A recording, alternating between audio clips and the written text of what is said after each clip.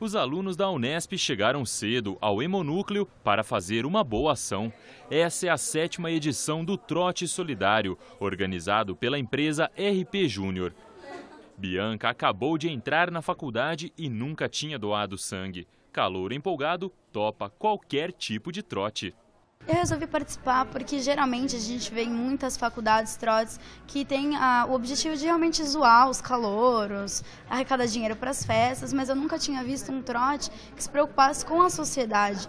Pode doar quem tem 18 anos ou mais, pesa mais de 50 quilos e está com boa saúde. Geralmente 10 minutos são suficientes para encher a bolsa. A gente sempre faz algumas estratégias para suprir, né, é, tipo feriados, é a Páscoa, é, vai vir o frio, né, é a Copa do Mundo. Então são os períodos assim críticos que a gente sabe que a gente vai encontrar esses problemas, então tem que fazer uma estratégia para conseguir doadores.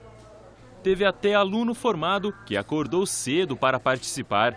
Bruna já terminou o curso e não quis perder o trote desse ano se você tem a disponibilidade, né, você vem aqui e doa e pode fazer grande diferença para uma pessoa, né?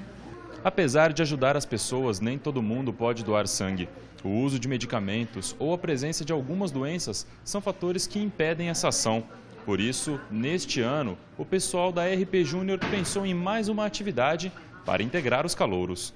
É, a gente vai realizar também o plantio de mudas em uma praça do Geisel com apoio da Secretaria do Meio Ambiente aqui de Bauru para que quem tenha sido impedido de alguma maneira de doar também possa participar dessa ação solidária e dessa integração toda.